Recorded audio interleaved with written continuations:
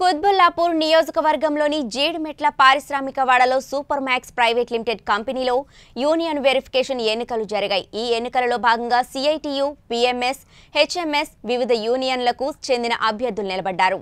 ఇందులో భాగంగా సిఐటియు అభ్యర్థి మల్లికార్జునపై మాజీ హోంమంత్రి నాయిని నరసింహారెడ్డి అల్లుడు శ్రీనివాసరెడ్డి ఇరవై ఆరు కోట్ల మెజార్టీతో గెలుపొందారు. ఈ సందర్భంగా శ్రీనివాసరెడ్డి మాట్లాడుతూ హెచ్ఎంఎస్ నాయకులు పెద్దలు నరసింహారెడ్డి సూపర్ మ్యాక్స్ పరిశ్రమకు చేసిన సేవలను గుర్తించి సూపర్ మ్యాక్స్ కార్మికులు పదమూడు వందల మంది మద్దతు తెలుపుతూ ఈ విజయం అందించడం చాలా సంతోషకరమన్నారు. ఈ విజయాన్ని నాయిని నరసింహారెడ్డికి అంకితం చేస్తున్నామన్నారు. అలాగే లాక్డౌన్ వల్ల ఎదుర్కొన్న కష్టాలను తీర్చేందుకు కంపెనీ యాజమాన్యంతో మాట్లాడి కార్మికులకు ఆగిపోయిన బకాయిలు విడుదల చేసేలా కృషి చేస్తానని హామీ ఇచ్చారు. ఈరోజు మరి జీడిమెట్ల పరిసర ప్రాంతంలో మరి సూపర్ మ్యాక్స్ ప్రైవేట్ లిమిటెడ్ కంపెనీలో మరి ఈరోజు ఎన్నికలు జరిగినాయి కార్మిక సంఘంలో మరి విజయం మరి నాయన నరసింహారెడ్డి గారికి మేము అంకితం ఇస్తున్నాం ఈరోజు. నిజమైన సమస్యలు మరి సూపర్ మ్యాక్స్లో చాలా ఉన్నాయి.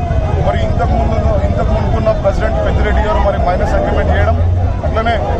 కోవిడ్ టైంలో మరి కార్మికులందరూ కూడా ఎంత కష్టపడ్డా కూడా మరి వాళ్ళ పేమెంట్స్ కూడా సరిగ్గా ఇప్పించకపోవడం మరి ఇటువంటి చాలా ఇష్యూస్ని మరి ఇప్పుడు మేము వార్ ఫుటింగ్లో తీసుకోవడం జరుగుతుంది.